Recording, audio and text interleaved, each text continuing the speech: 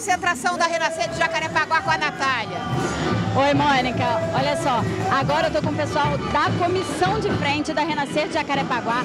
O Carlos Fontinelli é o coreógrafo e vai contar um pouquinho dessa história pra gente, que é uma história de música, né, Carlos? É, Ney Lopes, a gente tá trazendo Ney Lopes de uma raiz. Vamos trazer muita emoção com letras, música e vamos embaralhar para que ele possa criar obras e letras maravilhosas pra gente fazer na avenida com, com, com samba, né?